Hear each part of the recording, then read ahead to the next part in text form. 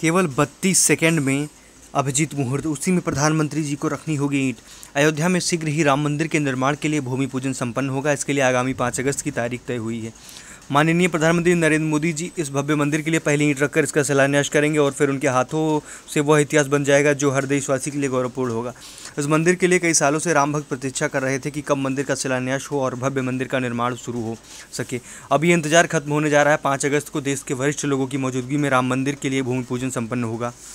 मंदिर के शिलान्यास की एक खास बात है असल में पाँच अगस्त के दिन दोपहर बारह बजकर पंद्रह मिनट और पंद्रह सेकंड के बाद बत्तीस सेकंड के लिए अभिजीत मुहूर्त शुरू हो रहा है और इसी बत्तीस सेकंड के अंदर प्रधानमंत्री जी को भूमि पूजन की पहली ईंट रखनी होगी। काशी के जाने माने ज्योतिषाचार्य गणेश्वर शास्त्री द्रविड़ ने भूमि पूजन के लिए मुहूर्त के लिए पूरी कुंडली बनाई है उनके साथ और भी कई गणमान्य ज्योतिषियों ने इस कुंडली को बनाकर पूर्ण किया है। अब इस मुहूर्त के अनुसार सभी संत और महंत यही चाहते हैं कि इस शुभ मुहूर्त में ही मंदिर के लिए पहली ईट रखकर प्रधानमंत्री जी निर्माण कार्य का श्री गणेश कर दें।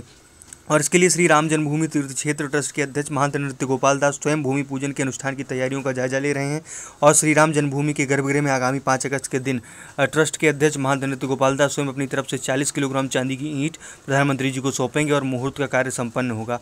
इसके बाद सोमनाथ मंदिर का निर्माण करने वाले सोमपुरा समूह द्वारा राम मंदिर के निर्माण का कार्य शुरू हो जाएगा। तो राम मंदिर निर्माण के लिए सारी गतिविधियाँ तेज हो गई हैं, जिसमें योगी सरकार भी काफ़ी ज़्यादा सहयोग कर रही है कि जल्द से जल्द राम, भव्य राम मंदिर का निर्माण हो जाए, जिसमें योगी जी ने सीधा तौर पे प्रधानमंत्री नरेंद्र मोदी जी को सब लोगों ने मिलकर आमंत्रित किया है कि वो आएँ और पाँच अगस्त को जो है बत्तीस सेकेंड के मुहूर्त के दौरान जो है उस ईंट को रखें और वहाँ पे भूमि पूजन के साथ साथ में वहाँ पे भव्य मंदिर निर्माण संपन्न हो, शुरू हो और अच्छे से जैसे संपन्न हो सके कार्य। इसलिए शुभ मुहूर्त की उस बेला में ही जो है ईंट रखी जाए वहाँ पे, ऐसे सब लोगों का मानना है। तो ऐसी तमाम जानकारियों, खबरों के लिए लेटेस्ट न्यूज़ के लिए चैनल को सब्सक्राइब करें, वीडियो को लाइक करें।